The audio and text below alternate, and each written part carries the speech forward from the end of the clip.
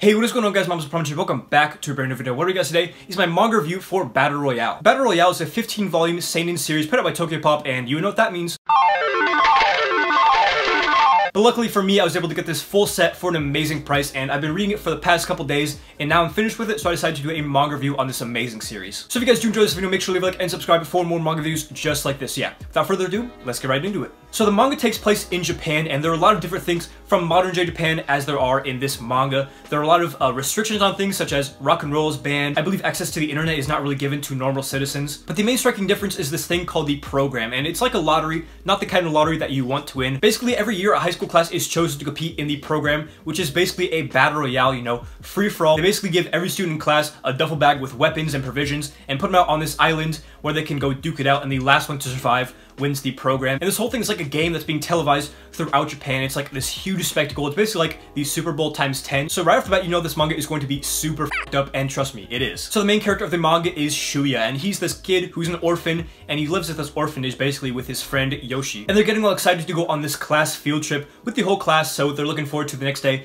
They got on the bus, and all of a sudden they start going to sleep, and uh, yeah, they put some gas on the bus, and basically they kidnap this entire class to go compete in this program. So when they wake up, Shuya and his classmates are in this strange classroom on this deserted island, basically, where the program is going to take place, and they all have these collars around their necks, which uh, actually prevent them from escaping, and they blow up if you don't kill anybody in 24 hours, or if you enter these designated danger areas on the map, you know, your head will just explode because of the collar. The collars also record your voice, which is just a way for them to broadcast this program. It's basically like being mic'd up at all times. So not only are they violating your basic human rights, they're also violating your privacy. Now, I can't really go any deeper into the plot because right this moment, people actually start dying, like from the class, so I'm not going to give anything away, but people just start dying right off the bat, and it's really a shock right from the beginning. So the main drama in this manga is that there's some students who are not playing, such as Shuya and this band of people that he rounds up after he gets out into the game, you know, they decide we're not to kill anybody, we're not to play the game, we're not to give in to the system. And on the other hand, there's some kids who do the exact opposite, that meaning that they kill people because they love it,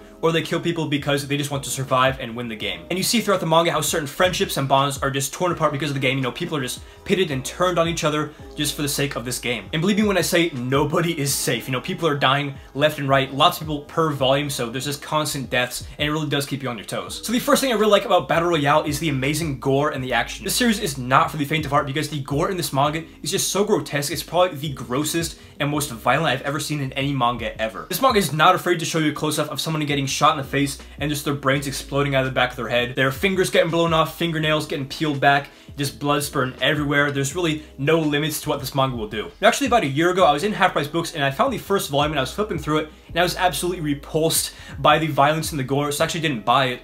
But uh, now, since I've read some other manga on my shelf that have uh, considerable amount of violence, you know, it's kind of numbed me down, so I really did enjoy the gore this time around. Trust me, I'm not a psychopath, it's just really well drawn, and it really does immerse you in and make you feel like the danger is very real for all these characters. And alongside the gore, the action is also very well executed. There are these shootouts between characters, you know, where people are just spraying machine guns at each other. There's also psychological scenes with these intense standoffs where people just be staring at each other, thinking about what their next move is going to be before they start spraying each other down. The constant drama and action are something that really kept me reading this manga and kept me constantly engaged. And another thing I really like about this manga is the concept. Now, obviously, in today's day and age, the concept of a battle royale is nothing new. If anything, it's overdone at this point. But I'd say battle royale is probably an early addition to this whole idea. You know, it's obviously not the first thing, at least not to my knowledge. And it does a lot of things that you see in things now, such as, you know, Fortnite, PUBG, you know, with these danger zones, as well as looting off people you kill and taking their items and their weapons, you know. You see all these things in this manga, and it's kind of cool to know that this is where a lot of those ideas came from. Sometimes while I was reading this, I would put myself in the shoes of Shuya, and I would just think about, you know, what if I was in a situation where if my high school class got put into this battle royale. It's just really terrifying thinking about, you know, people you think are your friends just turning on you just for the sake of the game. The concept of this manga is literally what nightmares are made of, and that's definitely portrayed in the manga itself. And after I got done reading, I kind of realized that it's kind of messed up how, you know, in this manga they're always talking about how it's so messed up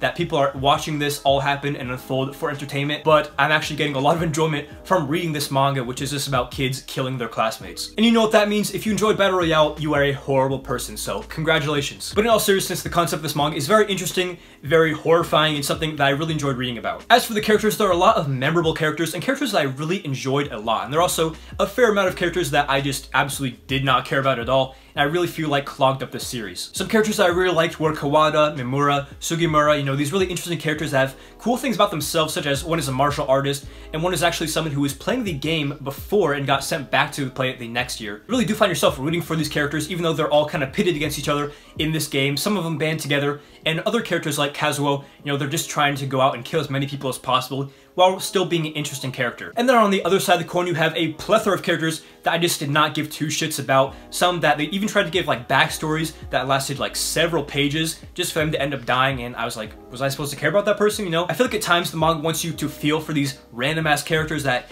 get 20 pages of backstory and then get popped in the face. Like, no, I really don't have a connection to those characters, and it just seems like a waste of time. They're trying to build them up just to die. And for that reason, I feel that the first two or three volumes are just kind of a rough start, you know. Obviously, it's not too boring, but there's a lot of pacing issues, I feel, with these introductions to characters and backstory for characters that are really meaningless. But while this is all going on, again, there's still action, there's still violence, and there's still building up for these characters that actually matter, like the ones I mentioned earlier. And another thing about the characters I want to mention is that the main character, Shuya, throughout the entire manga, maybe I'm missing something, but there are only a couple instances where he actually like does anything meaningful at all. Obviously because he's not playing the game, he's not just going out and looking for people to kill. So most of his time is just spent staking out with this group and his people who are also not playing the game. And he doesn't get involved in a whole lot of action himself until the very end. And for that reason, I felt myself liking a lot of these side characters like Kawada and Mimura a lot more than the actual main character Shuya. And that's not to say he's unlikable, but just that he didn't really get involved with anything again until the very end.